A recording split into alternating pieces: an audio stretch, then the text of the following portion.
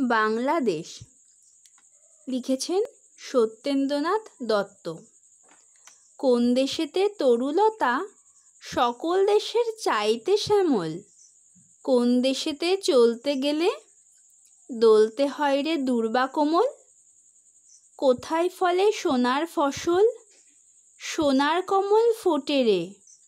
সে আমাদের বাংলাদেশ, আমাদেরই বাংলারে তাহলে কি বলেছে?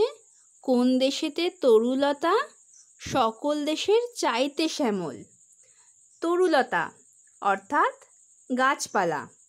আর শ্যামল মানে সবুজ। কোন দেশের গাছপালা সব দেশের চেয়ে সবুজ? কোন দেশেতে চলতে গেলে দলতে হয় রে দুর্বা কোমল? দুর্বা, অর্থাৎ দুর্বা হলো ঘাসেরই একটি প্রজাতি।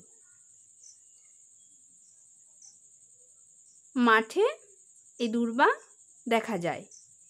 পা দিলে মনে হয় নরম কার্পেটের ওপর পা দিচ্ছি। কোমল অর্থাৎ নরম।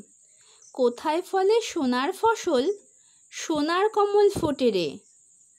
সোনার ফসল অর্থাৎ ধানের কথা বলেছে।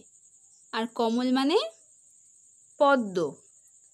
বলছে, কোথায় এরকম সোনার ফসল? অর্থাৎ ধান ফলে।